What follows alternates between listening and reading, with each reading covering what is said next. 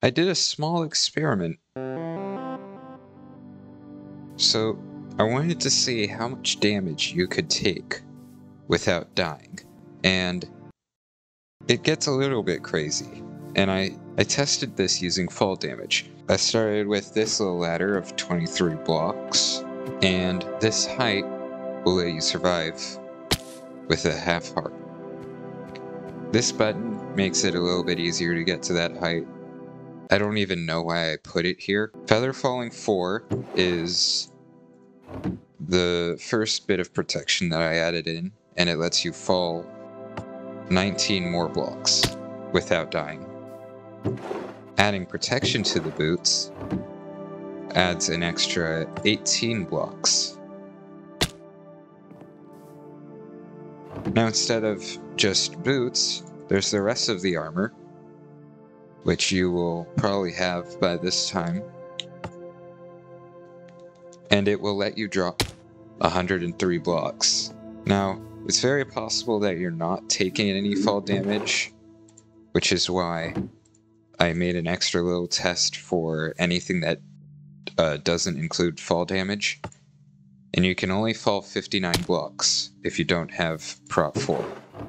Of course, once you start using potion effects, it changes up. A beacon, which is the only way to get resistance, because apparently there's no basic resistance potion,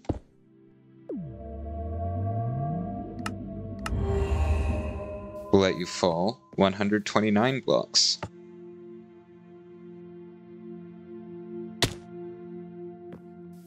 And a resistance 2 beacon will let you fall 40 more blocks.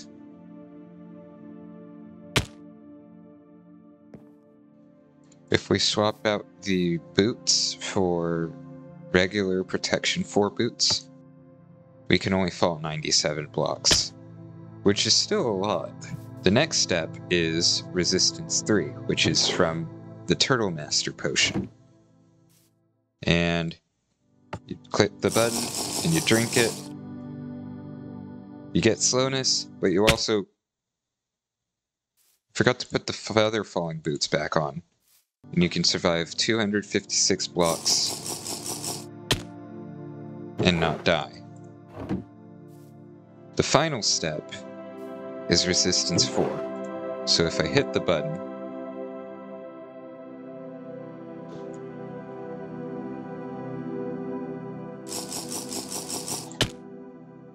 you can survive 503 blocks. Finally, there's resistance 4 with regular protection armor. If we hit the button, we can only survive 281 blocks, but that's still a lot. So, if you are ever wondering how much damage you could survive in Minecraft, there's a little bit of pointers. And if you have food or totems, then you can survive a lot more because if you have a totem, you don't die. So just a just a quick video. Um, see you around.